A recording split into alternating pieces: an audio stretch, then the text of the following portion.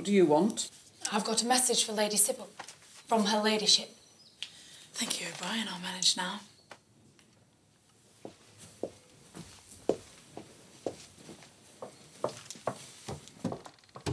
Odious woman. What does Mama want? I just said that to get rid of her.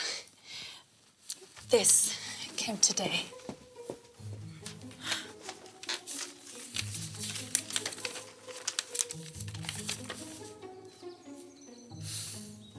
I knew they would want to see you. Oh, it's your reference what's done eh? it. But how am I going to get there? They won't let me take a day off. You're going to be ill. They can't stop you being ill. What? No one has seen Anna for a whole day. They won't notice if you vanish for a couple of hours.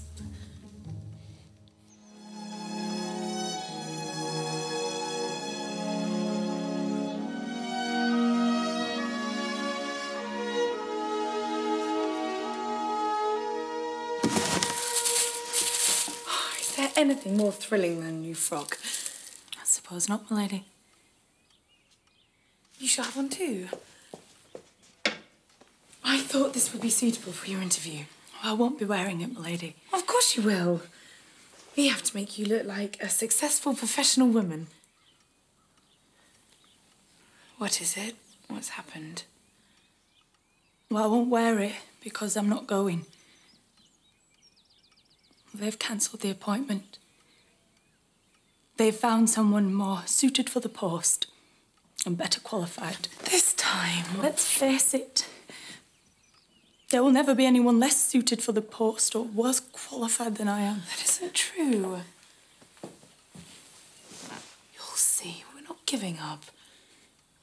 No one hits the bullseye with the first arrow.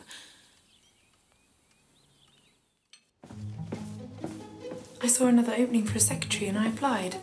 But you never said. I didn't want you to be disappointed. I thought you'd given up. I'll never give up, and nor will you. Things are changing for women, Gwen. Not just the vote, but our lives. But it's tomorrow at 10 o'clock. Last time we waited for weeks and weeks, and, and this one's tomorrow. Then we must be ready by tomorrow, mustn't we?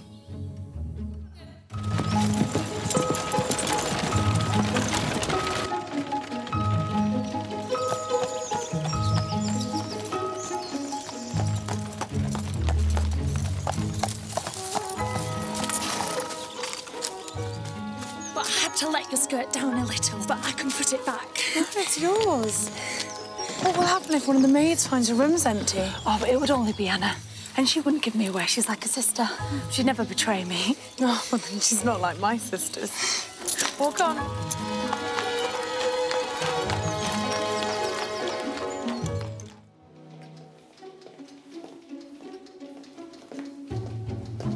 Take a seat.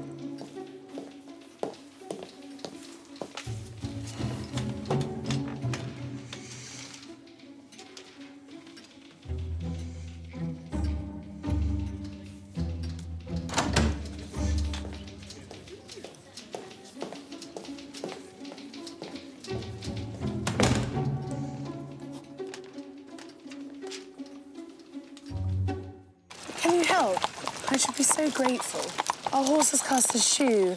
Is there a smithy nearby? Ah, you can trial Crump in the next village. Thank you. Thank you. See, help's at hand. And at least it happened on the way home. Well, they'll be worried about you. And if they check on me, I'm finished. Sorry, miss, but Mr. Crump's staying over at the Skelton estate tonight. He's working there all week. Is there anyone else? Not that I know of.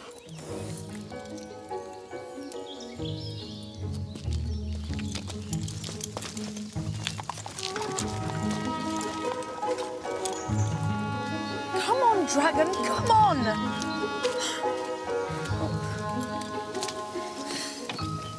Dragon, if you don't move now, I'll have you boiled for glue!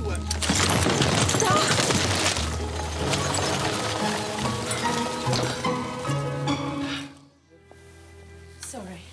I'm a bit late tonight. Not to worry. How are you? Bearing up? This isn't the end. You mustn't give up. We'll get there. Forgive me, my lady, but if we don't get it, You're brought up to think it's all within your grasp, that if you want something enough, it will come to you. But we're not like that. We don't think our dreams are bound to come true because. because they almost never do. And that's why we must stick together. Your dream is my dream now. And I'll make it come true. Carson said you were here, Just uh, checking that everything's been done right, my lady. only we never heard back. That is, Miss Dawson never heard back from you. About an interview? Ah, yes. Uh, we, we got the young lady's letter, but the trouble is, she didn't have any experience of hard work that I could tell, so. But she's a very hard worker. Well, I couldn't find any proof of it. And she gave you as a reference when uh, you don't run a business, my lady. Well, not that I'm aware of. Lily, can you find Gwen and tell her to come to the hall now? Yes, my lady. The reason Gwen didn't give any more details is because she works here as housemaid. Ah, and you thought that would put me off. But she's taken a postal course and has good speeds in typing and Pitman shorthand. Test her. I will, if I like the look of her. Ah, so, young lady, you thought I'd turn up my nose at a housemaid. Well, I did, sir. Well, my mother was a housemaid. I've got nothing against housemaids. They know about hard work and long hours, that's for sure. Well, I believe so, sir. Right, well, is there somewhere we could talk? Gwen, take Mr. Bromidge to the library. I'll see no one disturbs you.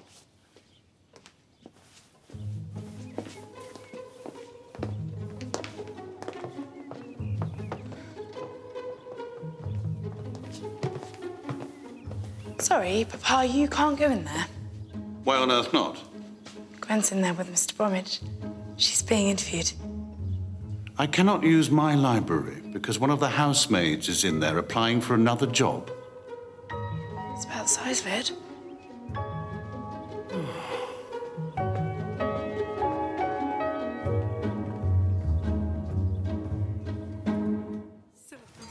I think we should start the ices now. If you agree, Mrs. Patmore. Certainly, Mrs. Bird. Oh, my lord, listen to that. It's like the cry of a banshee. Mr. Carson's telephone is ringing. Well, isn't someone going to answer it? I wouldn't touch that thing with a 10 foot pole. Well, I will then.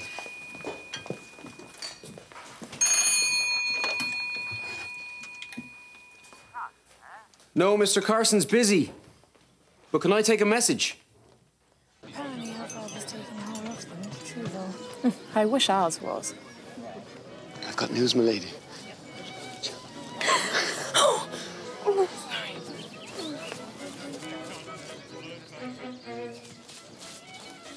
Mr. Bromidge has rung. You've done it, Gwen. You've got the job. Take it! Take it.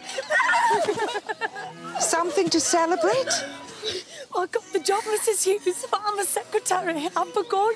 I'm very happy for you, Gwen, and we'll celebrate after we finish today's work. Of course, Mrs. Hughes. I don't suppose. Lady Sybil. Her ladyship was asking after you.